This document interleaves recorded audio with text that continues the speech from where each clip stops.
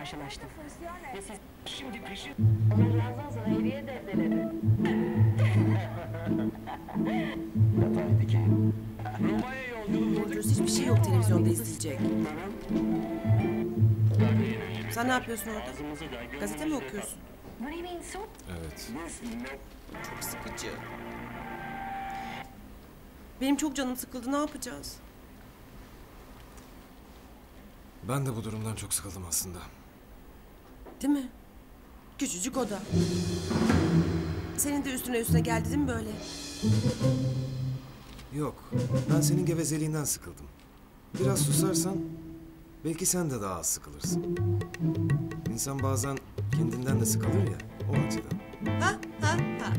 Allah'tan arada böyle süper espriler yapıyorsun da biraz eğleniyorum.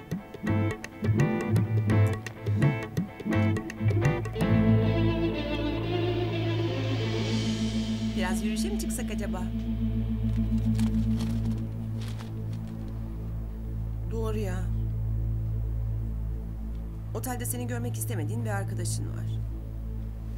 Ona yakalanmaman lazım.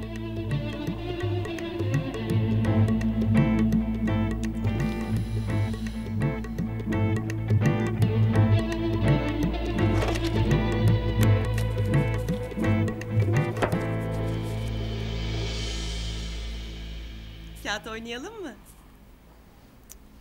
Pişti üzerime yoktur. Ağlatırım valla. Bir şeyini oynayalım o zaman. Mesela neyini oynayabiliriz? Heh buldum. Ben kazanırsam sen yarın sabah gitmeyeceksin. İzmir'e gidene kadar benimle kalacaksın.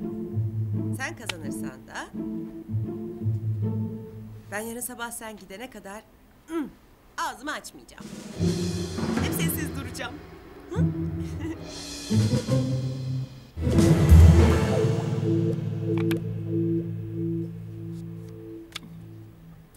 Sen hiç evlendin mi? Hani susacaktık artık. Oyunun sonunda belli olacak canım.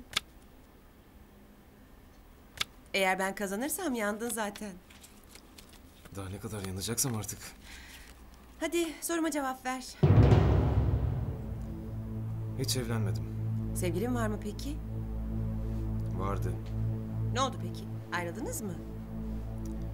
Evet. Neden ayrıldınız peki? Kesin senin yüzündendir. Aldattın değil mi kızcağızı? Hayır. Tam tersine o beni. Allah Allah. Kiminle aldattı peki? Tanıdığın birisi miydi? Güzin ablalığı bırakıp da oyuna konsantre olur musun? Ya tamam. Oyuna biraz renk gelsin diye öylesine sohbet edeyim dedim biraz.